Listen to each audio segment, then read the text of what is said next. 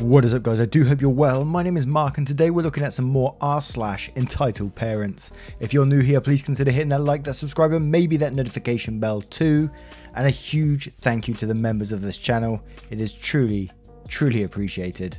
As always, the likes and subscribes make a massive difference to this channel and they have been the last couple of days. So thank you once again for that. And if you do have a moment, please consider doing so because it really, really helps. And with that being said, let's get straight into today's stories. Much love, guys. Our next story is from Ghost of the Snow. This is a little off the content I normally post on my account, but some friends and I were chatting and this story came up. One of them told me I should post it here, so I will. This happened about six months ago when I was home from college. One of my favourite things to do in the city I live in is to visit the aquarium, where I can spend all day. The jellyfish are my favourites, but that's beside the point. At the end of the trip, I text our group chat and asked if anyone wanted anything from the gift shop, which they did. My total was around $80, which I didn't mind spending on gifts. I put them all into a bag I brought with me that day and set off for the train station to get back home. Before I got to my line, I decided to stop at this little mall type area in the city, which led to a train station, so it wasn't too far out of the way. I meandered for a bit, looking at the shops and restaurants, before eventually settling for a blizzard. It was that one with a hella chocolate fudge bits in it, I can't remember the name, and set my stuff down beside me. I like to listen to music and watch videos while I sit and eat, so I had my headphones on and the volume pretty loud.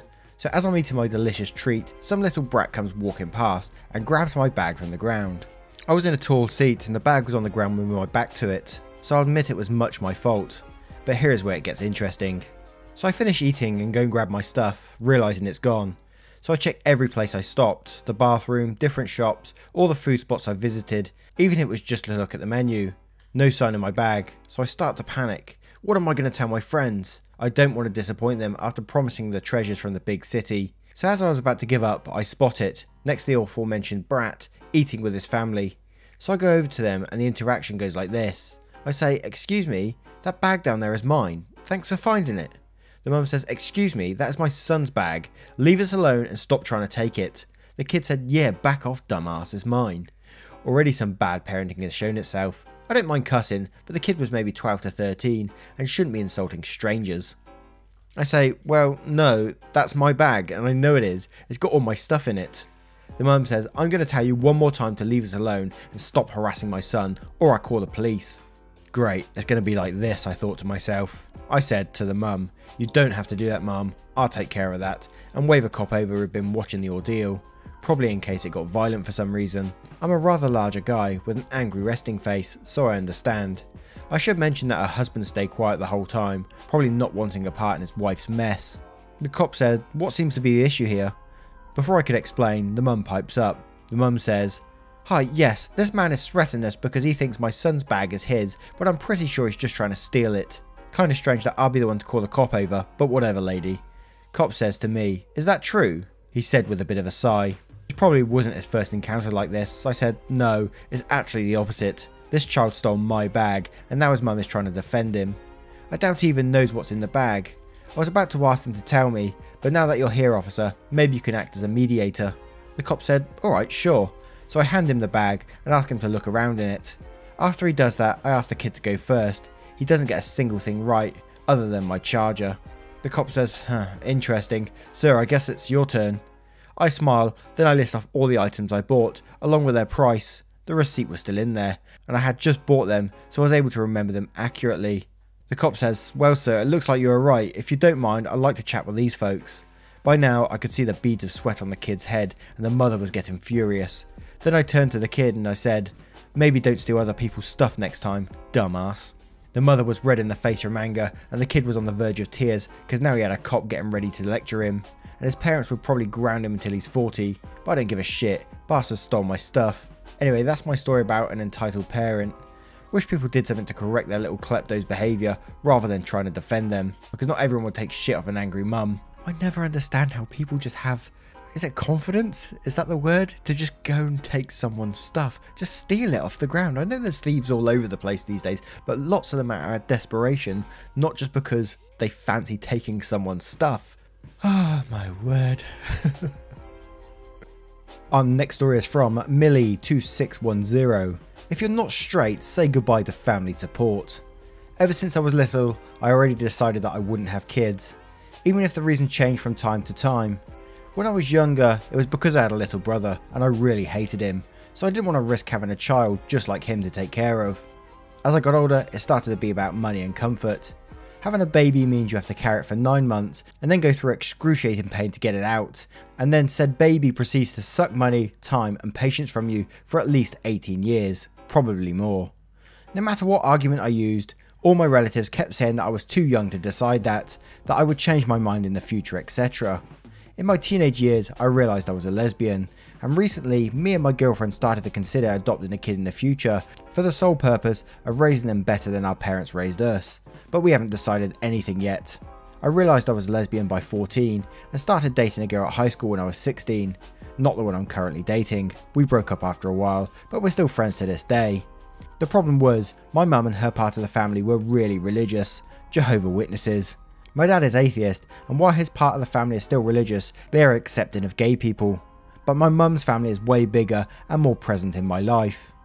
As I got older, relatives started bugging me about if I was dating someone. It was really awkward because technically, yes, I was, but I couldn't say that, so I always answered no.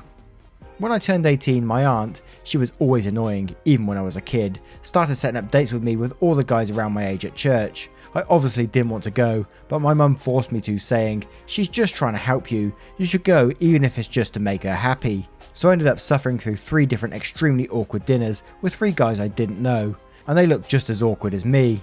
I guess she ran out of young adults to throw at me, so she left me alone besides the usual, so are you dating someone? And the really annoying suggestive looks every time I said no. Three months ago, I'm 23 now, I got caught with my current girlfriend. I broke up with the first one in the first year of college. We're at a party and she had too many drinks, so I drove her home and gave her a goodbye kiss when I dropped her off. It was late in the afternoon, so it wasn't dark yet, so apparently a random old lady that was close friends with my grandmother saw us kissing and told my grandmother, because apparently old religious people have nothing better to do. I'd stopped believing in God when I was 12, story for another post, and I told my mum when I was 14.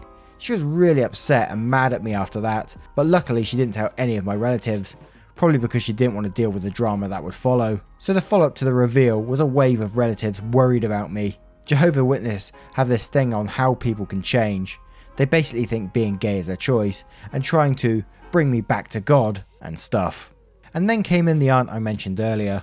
She started with the same arguments as everyone else, but then came in with, but if you only date girls, you'll never have kids.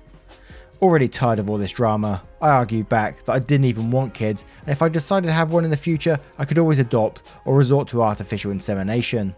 She kept bugging me for days with the same arguments about how I was young and naive and would eventually change my mind, and how children are a gift from God for every woman on earth. That my life would never be complete without one, how a homosexual marriage would never bring true happiness, and how I would die sad and alone because I didn't have kids to take care of me when I turned old. After a few days of this, she gave me an ultimatum, not the movie. If I didn't give up on my homosexual relationship, she would tell the church about it.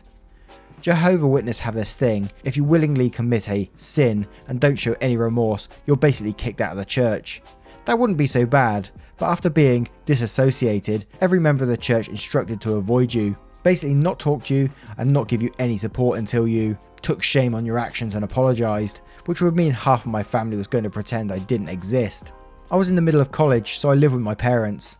Luckily, disassociation doesn't include kicking your child out, but I didn't want to be trapped in an environment where two people, my mum and brother, would pretend I didn't exist, so I decided to move out. I live in Brazil. Here, public colleges are actually good, at least for your resume. Can't say the same about the structure. So paying for it wasn't a problem. When I explained my plan to my girlfriend, she quickly pulled some strings and managed to recommend me a small apartment near my college that I could rent without selling an organ. But that still meant I was going to have to find a job, and considering we're in the middle of the coronavirus outbreak, that could take forever. And then, to my surprise, my dad came in when I was talking with my girlfriend through video chat. We talked for a long time, and long history short, he wasn't exactly happy about my relationship, but it was less because it was with a girl and more because I never told him, and said that as long as it was making me happy, he would support me. I showed him the apartment I was planning on getting, and he said he would pay the rent for me for the rest of my college years. He then repeated what he used to tell me when I was a teenager As long as it's something for your education and future, I'll pay for it. I don't think I need to describe how happy and relieved that made me. We now talk with each other daily, and I started contacting his side of the family through video chat about my situation. They also support me, and one of my cousins said she would help me with furniture and stuff. I'm currently trapped in my house due to quarantine, while I ignore several calls from people from church. But once this is all over, I'll be able to finally cut some people out of my life and never look back. I, now, I'm going to be pretty ignorant by saying this probably, but I don't know much about Jehovah's Witnesses. But I've always sort of looked at them as a bit of a cult. We've had them come to our door and stuff, and I don't. I've just I, I quickly shut them down and they go on their way. But Jesus, they're pretty persistent. Our next story is from This Requires a Burner. I just saw a lady get tasered for trying to snatch a woman's face mask to give to her child. I argued with my husband about whether or not to post this because I'm pretty sure this will make the local news. I didn't want to burn this account just yet. But he won RPS, so here we are. Prepare yourselves, this story has layers. We're at the dreaded big box store picking up potting soil because we're going to do DIY ourselves through the isolation. Things aren't crazy here, yet, but there's still a 2 per customer limit on the majority of items. I assume this means everything, so we're getting 2 bags of each for a few different types of soil. My husband is loading the last of 8 bags on our cart when I hear her. I know it's Karen just by the level of unnecessary outrage in her voice. She says, Are you kidding me? Not a lot of people out here in the garden centre, but we all look at her. I was almost disappointed to see she didn't come with a requisite haircut. She actually looked like a frazzled mum, her kid tugging on her hand, and an overfull handbasket of groceries, and I had a moment of, girl, I feel you. But damn it, she was pointing at us. Karen said, You can't buy that many, you are hoarding. My husband says, Yeah, we can, we're getting two each. Karen says, Oh, you don't fool me, I know what you're doing. My husband says, So do I, fuck off. I'm just sitting there imagining all the ways I'm going to rock his world tonight. Well, Karen huffed at that, spun around and yanked her kid back inside to go complain to the employee working at the register nearby. Now, we already paid for our items.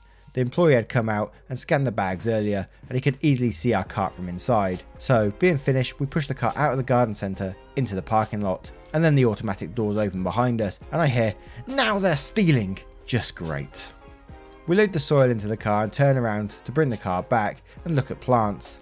By the time we get back, Karen has given up on trying to convince the employee we're the Bonnie and Clyde of dirt and is now trying to negotiate skipping somebody in line. She has a child, you see, and her handbasket, well, it's just so full and heavy. Could she please just scooch right on in here real quick and it'd just be an extra second, she swears. The woman Karen is trying to skip is young, maybe college age, and wearing a face mask. Not a medical mask, but the stretchy kind you wear while riding a motorcycle or when you're skiing. My husband has just informed me it's a neck gaiter. The mask is black and has scary like wolf teeth on it. That honestly made the girl look like somebody you should not fuck with, even though she was wearing a Gap t-shirt and flip-flops. Girl was just shaking her head no, and that's all I got as we dropped off the cart. I browse, pick up a couple of plants, and we head inside to wait in line. Now is showtime. Karen and Maskell are near the register facing off, no pun intended. From the looks of things, Maskell finished her purchase and Karen stopped before she could leave. I don't know if she grabbed her or anything, but Karen was still holding her full handbasket, so she hadn't checked out yet. Well, she hadn't paid for her groceries yet, because clearly this woman had checked out. Karen said, But you don't even need it now. You're leaving. My son could get sick because you won't give it to him and he needs it. Mask Girl says, Hell no, you can't have it. Back off, lady. Karen then says, but my son really likes it, and it's obviously made for boys anyway. Why would you even want to wear something so scary? Mask Girl says, because I like it, and it has my germs on it, so why would you want to put a stranger's mask on your kid? Ugh, why are you being so rude? You wouldn't let us go through the checkout first, and now you're making my son very upset. Maskell says, that's your problem, not mine. And then Maskell turns to leave, while Karen manifests the biggest balls ever and grabs Maskell by the back of her mask. Let me make a side note here. When all this is going down, we're all just standing in line and watching. The register is still going boop, boop, boop as our employee scans items, but otherwise, we're all just inside this hypnotic bubble. But when Karen reached out towards Maskell, it was like the bubble popped and made everything crystal clear. Not slow mo or anything, but I absolutely felt hyper aware, like Spider Man. Karen reaches out, people on both sides of me inhale loudly. Karen grabs the mask and yanks. A lady on my right yells, and my husband steps forward. So getting laid tonight. Too much info. Maskell tucks her head down and she turns to Karen like a pissed off bull with a bright red and shiny new target. I think Karen was going to say something like, don't walk away from me, or something, but all she got out was don't and crack. I looked around because the noise was so loud I figured the roof was about to cave in, but out of the corner of my eye I see Karen spasm and drop to the floor wreathing. Little mask girl had a fucking taser. I don't know when she pulled it out. This tiny little flashlight looking thing, but she laid Karen out with it. And not one of us moved what felt like forever. Like we were frozen. And then it was fucking bedlam. Security guard shows up, more employees show up, Mask girl was chilling like she's been through this before and knows what comes next. The kid is screaming that Wolfgo killed his mum, even though she's groaning and sobbing on the floor and clearly not dead, but maybe wishing she was. The people that had been in line with us were all talking at once trying to tell the security guard what happened. We hung around just witnessing the insanity for maybe two minutes before Karen just started choking out demands for an ambulance, the police, a lawyer, the mayor, restitution and reparations. My husband made eye contact with an employee and just got a thumbs up when he puts plants on the shelf and pointed towards the door. We got the fuck out of there.